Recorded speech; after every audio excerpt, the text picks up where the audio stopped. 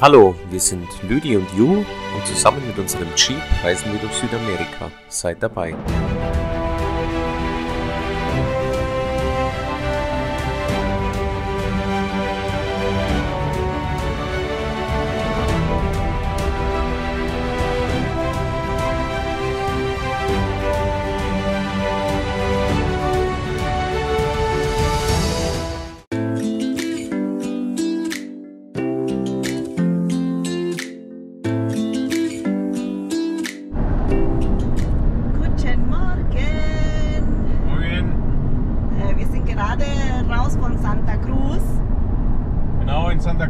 Nur zwei Tage. Wir müssen unseren Handyvertrag verlängern und das war's eigentlich schon. Ja. Äh, wir haben halt aber nichts gefilmt, weil es war nichts Besonderes. Städte sind nicht so unser Ding. Jetzt Genau, sind wir ja. unterwegs in der Chiquitania. yes! Es geht Richtung brasilianische Grenze nach Aguas Calientes. Und es sieht ja schon aus wie damals in Brasilien, also erinnert uns schon stark dran. Ja, aber die Straßen sind besser. Ja, die Straße ist neu, ja. sehr angenehm zum Fahren. Alles flach jetzt wieder. Ich glaube, die ganze Berge und Pässe und so haben wir hinter uns, war cool. ja. Aber jetzt ist so auch mal wieder recht. Flach und warm. Ja, 30 Grad hat's. Ja. Und erst um 9 Uhr.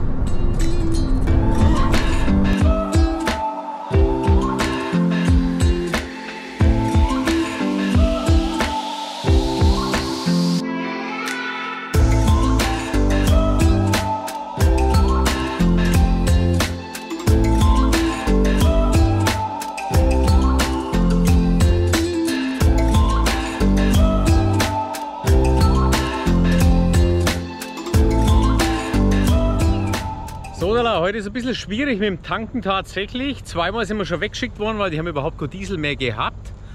Und es ist hier jetzt äh, in der, wie sagt man, Chiquitania, sagt Lüdi immer so schön, also Nähe Brasilien. Gar nicht so einfach, weil so gern sie es auch gar nicht raus. Ich habe mich jetzt wieder versteckt hier hinter der Tankstelle, dass ich mich nicht sehe und dass mein Auto nicht sehe. Und Lüdi ist halt wie immer mit den Kanister vor. Muss aber ein bisschen warten, weil der hat anscheinend nichts gehabt und es war gerade der LKW da, hat vielleicht was gebracht. Ich meine, es ist nicht ganz tragisch. Bis zum Ziel haben wir nur noch 30 Kilometer. Aber die Tankstellen sind etwas rarer hier oder es ist ein bisschen schwieriger an Diesel zu kommen. Natürlich tanken wir immer so wie 20 Liter Neipasse, schütten wir wieder 20 drauf. Von daher ist es nicht so, dass wir irgendwo irgendwas aus der Colaflasche rauskaufen müssten. Aber es ist jetzt doch ähm, so schwierig wie heute, haben wir es jetzt noch nie gehabt in Bolivien. Aber halb so wild, es ist ja noch fast dreiviertel voll der Tank. Von daher warten wir noch ein bisschen und dann hauen wir wieder 20 Liter rein und dann geht's weiter. Also, ciao, ciao. Wir sind jetzt da in Campil El Tucan.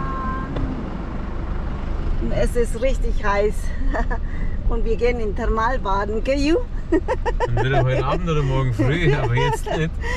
30 Grad. muss man hin? So, wir schauen jetzt mal uns mal an, wie das eigentlich der Fluss aussieht, gell, Ju?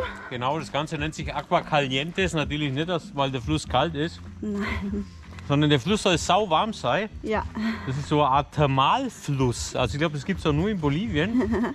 Und es soll auf eine Länge von 5 Kilometer richtig sauwarmes Wasser haben. Also zum Schwimmen gar nicht, kann Schnei tagsüber nicht, weil es so warm ist, aber wenn zum Thermalbaden kann man halt gehen. Das wollen wir Wow. natürlich mal sehen. Ja. Und es schaut nicht schlecht aus. Und es ist wirklich heute nicht so viel los. Unter der Woche sollte man das am besten machen, weil dann nicht so viel los ist. Und tatsächlich ist es richtig schönes, klares Wasser. Wow. Ja, Sehr schön. Man kann das gar nicht glauben, dass es warm ist. immer rein lang. Nice. Ja. Ja, wie schön das ist.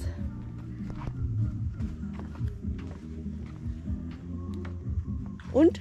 Angenehm warm. Oh, Also heiß ist es nicht. dann können wir nachts baden. Ja, da kannst du nachts reinhupfen. Hm, Das ist echt schön, sehr, sehr schön. Ich würde sagen, wir trinken jetzt noch ein was. Jo? Ja. Wir sind nämlich recht durstig. Im Schatten aber. Und Ju, wie ist das? Oh, voll warm, hey. Ehrlich? Richtig schön, ja. Sonne geht unter, Wasser ist wie ein Thermalbad halt. Geil. Ja, richtig gut. Sehr schön. Ja. Es dampft sogar. Es dampft voll. Voll. Boah, das ist echt. Boah, das ist richtig warm. Ehrlich? Ja. Wow. Herrlich. Oh Mann, das Ich komme jetzt rein. Uhu.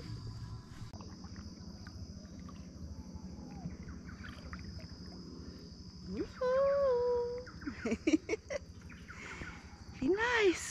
Schön warm. Oh, herrlich, Leute. Sehr schön. Das ist mega cool. Wir sind hier in einem, Wellness. in einem richtig warmen Fluss und über Länge von 5 Kilometer ist der Fluss hier in Bolivien richtig warm. Warm. Ja. Ja, Es hat verschiedene Temperaturen. Hier wird so ungefähr, wie viele Grad? 35? angenehm warm halt. Angenehm, ja.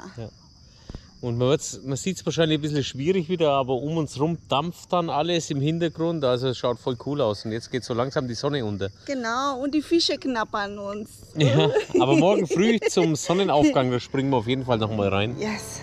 Ja.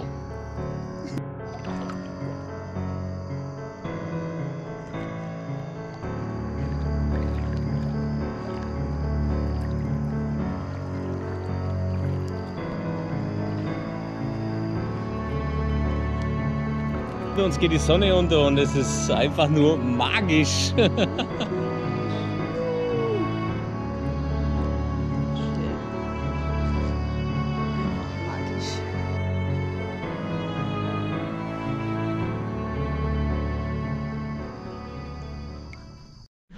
Guten Morgen! Guten Morgen. Heute ist Badetag.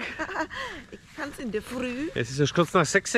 Die Sonne müsste nachher aufgehen. Wir hoffen mal, dass wir es einigermaßen gut sehen. Es ist ein bisschen neblig, keine Ahnung. Ein bisschen diesig ist es, aber jetzt hupfen wir natürlich gleich wieder rein in den heißen Fluss. Ja, Anbaden mal wieder. Ja, und heute bleiben wir noch hier, machen wir ein bisschen, ein Wellness. bisschen Wellness, genau. Also, wir springen rein.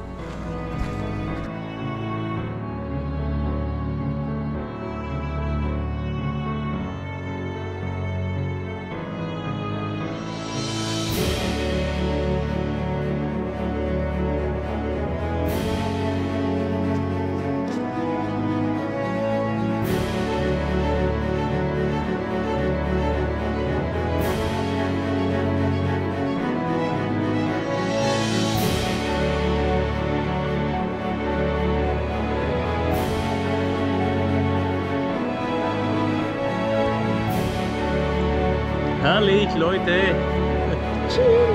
Super Entspannung.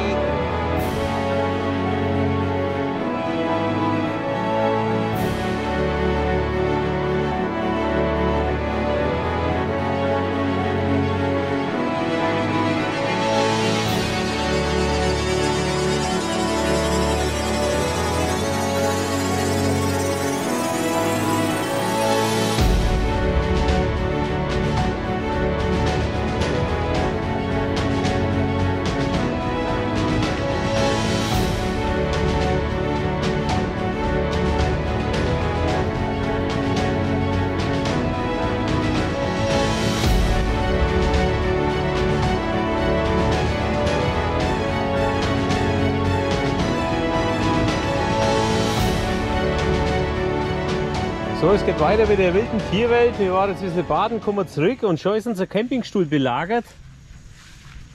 Nee. Da hockt der Kamerad hier drin. Junge, du musst raus hier.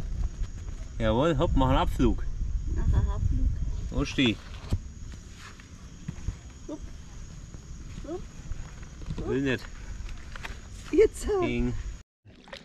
Buenos dias. Guten Morgen. Heute zum letzten Mal in der Früh sind wir drin im Flüsschen. Jo, ja, das ist so ein Erhöhlung für die Seele. Eine richtige Wohltat. Sonne Ja. geht gleich auf, es ist schon hell. Ja. Wir haben 6.30 Uhr in der Früh. Ja, jetzt genießen wir noch einmal ein, zwei Stündchen, hocken wir uns noch rein ins warme Wasser, So schön. bevor es dann weitergeht. Ja. Es ist echt ein schöner Ort. Ja, und wir haben auch Glück, dass so viel Wasser drin ist, weil wir haben auch gelesen, ähm, in der Trockenzeit kann schon sein, dass es äh, ziemlich knapp wird. Ja, Dann hast du halt nur noch so 15 bis 20 Zentimeter, das war's dann. ja. Aber wir können da wirklich richtig schön schwimmen oder baden drin. Das Ja, cool. das ist echt toll. Juhu!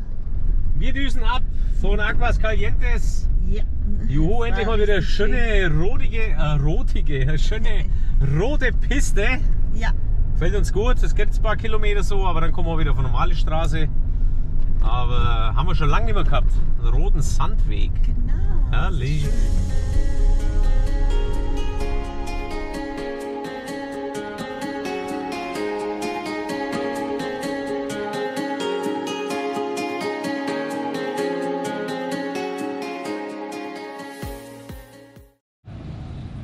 So, wir sind jetzt äh, in San José de Chiquitos und wir machen eine Mittagspause. Aber im Zentrum der schaut wunderbar aus, die schöne Kirche. Ist echt schön. Und da ist die schöne Plaza. Und wir sind da vorne. Und wir machen da vorne Mittagspause. Das ist richtig schöne Hotel. Hotel Misiones de Chiquitos. Schöne Hotel. Und da ist der Ju. Mittagspause. Einen guten Ju und alles Gute zum Vatertag. Danke. Und da oben ist ein Tukan. Oh.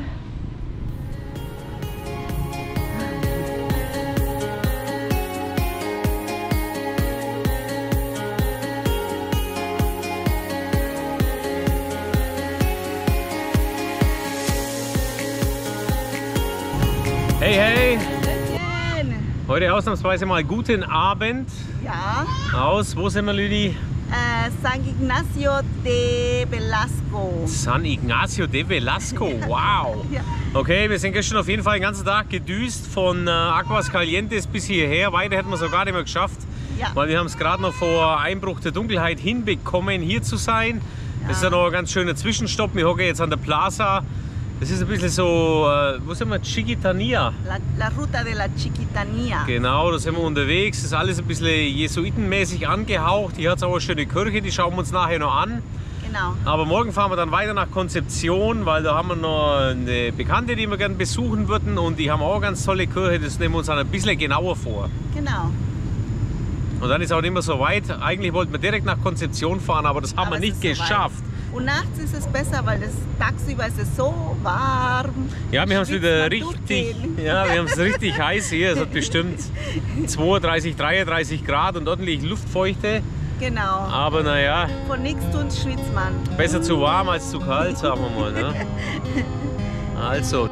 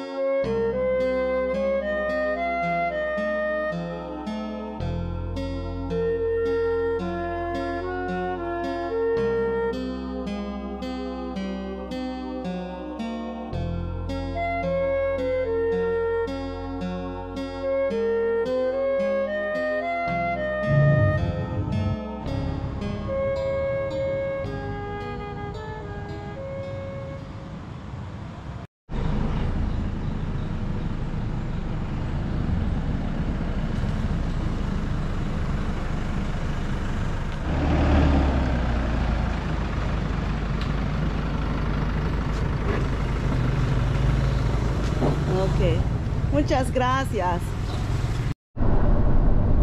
Hallöchen. Servus. Wir sind raus aus San Ignacio de Ignacio. Velasco. Jawohl, es geht nach äh, Konzeption. Heute ist nicht weit. Ja. Es sind nur 170 Kilometer, brauchen wir zweieinhalb Stunden. Straße sehr angenehm. Ja. Ja, und es war cool. Wir waren zwei Nächte bei einem Schweizer Auswanderer, der bolivianische Frau hat gestanden. Ja, war sehr nett. Ja, war voll cool. Der hat eine Wäscherei und backt Brot und war voll, Brot. Das Brot war richtig witzig. gut, richtig Ja. gut, ja. voll der nette Typ. War schön mit ihm zum Unterhalten und so weiter. Hat passt. Und jetzt geht's aber weiter. Genau. Wir sind angekommen in Konzeption.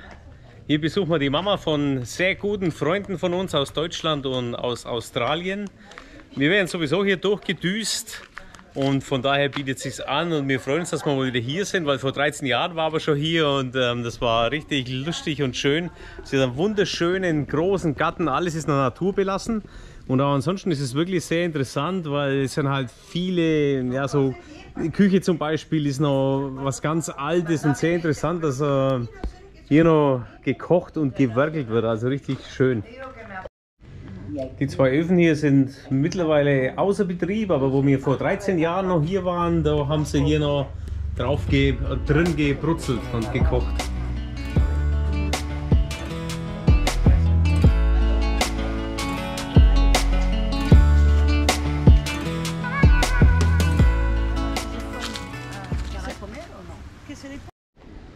Hier im Garten hat es einiges an natürlichen Heilpflanzen, sagen mal. Das ganze Ding heißt äh, Uruku.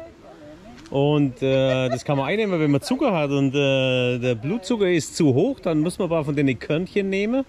Und anscheinend innerhalb kürzester Zeit ist alles wieder in Ordnung. Ich wäre geschminkt mit Naturprodukten von Decirle que Garten. la estoy pintando, ¿ya? Con el cosmético Natur. Mit sowas hat man früher geschminkt. Das Tiene ist ja Natur, Vitamina A. Naturprodukte. Mit Natur. Vitamin A. Con vitamina A y estos tres se chupa y baja el azúcar. Hier im Garten steht auch noch eine ganz alte Zuckerrohrpresse. Bei unserem letzten Besuch haben wir hier sogar mit unseren Kindern noch Zuckerrohrsaft gepresst und getrunken. Und Bananen gibt's.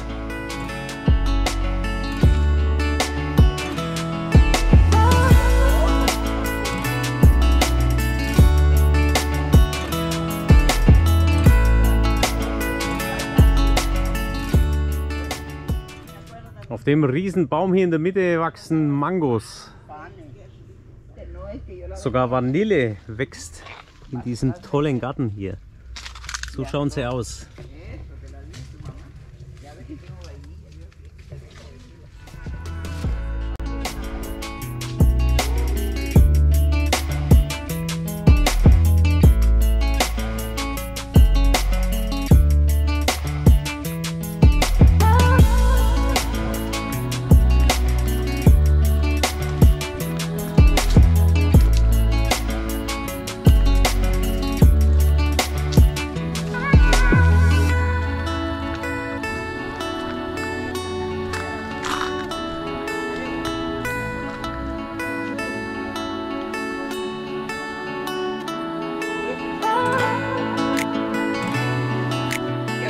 Obrigado.